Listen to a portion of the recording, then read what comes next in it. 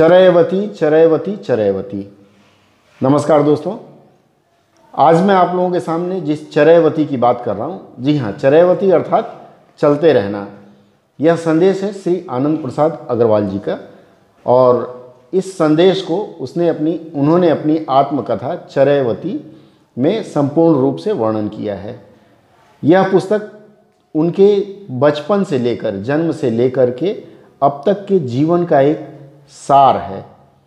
इस सार में सिर्फ़ उन्होंने अपने बारे में ही नहीं लिखा है, बल्कि अपनी सफलताओं के बारे में लिखा है, अपनी उपलब्धियों के बारे में बताया है, और सबसे बड़ी बात यह है कि इस प्रकार की उपलब्धियों के पीछे उनके प्रेरणा स्रोत कौन रहे हैं और उन्हें प्रेरणा कैसे मिलती है, उनके इस जीवनी को पढ़ करके हम स्वयं प्रेरित होंगे और जीवन में आने वाली घटनाओं और इमोशनल ब्रेकडाउन्स यानी कि संवेदनाओं से जब भी हमारा साक्षात्कार होता है, उन सबसे कैसे निपटें और जीवन को कैसे आगे बढ़ाएँ?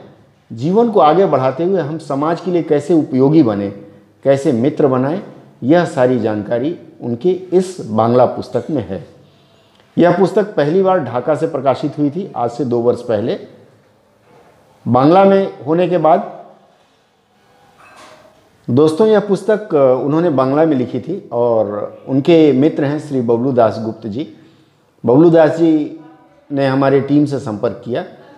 उनकी यह इच्छा थी कि आनंद प्रसाद जी को एक सरप्राइज़ देंगे इस पुस्तक का हिंदी में अनुवाद करके।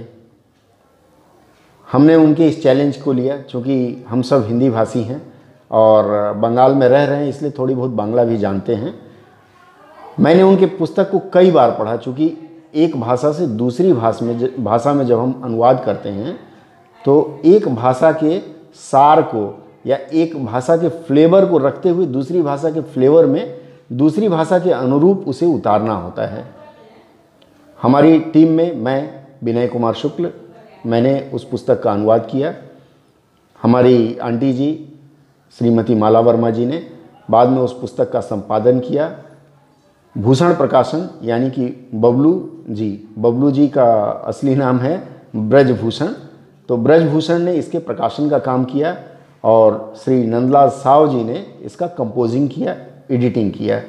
इस तरह से हमने एक छोटी सी टीम को लेकर के शुरुआत किया था और यह कह सकते हैं कि आनंद प्रसाद जी के प्रेरणा से ही हमने यह किया। उनकी पुस्तक की प्रेरणा से हमने जो भी पाया, उसको चैलेंज के रूप में लिया और पूरा किया। कल, बीते कल 9 तारीख को इस पुस्तक का लोकार्पण हुआ, बांग्ला पुस्तक का, हिंदी अनुवाद का, और इस लोकार्पण में हमारी पूरी टीम थी। चूँकि आनंद प्रसाद जी बांग्ला मीडियम से पढ़े हैं और उनकी हिंदी बोली बहुत अच्छी है, पर हिंदी पढ़ने की गति थोड़ी धीमी है, पर हमने उनसे निवेदन किया था कि वे अपने पुस्तक की कुछ पंक्तियाँ पढ़कर सुनाएँ। यहाँ मैं उनके उस पढ़े हुए वाक्यांश को आपके सामने प्रस्तुत कर रहा हूँ। सुभाषित हो उठता है। सेवक सबके साथ एक योग सूत्र तैयार हो उठता है। ये सूत्र बहुत रेखीय है। बीच बीच में ऐसा लगता है मानो अनेक असंभव की चीज़, असंभव के बीच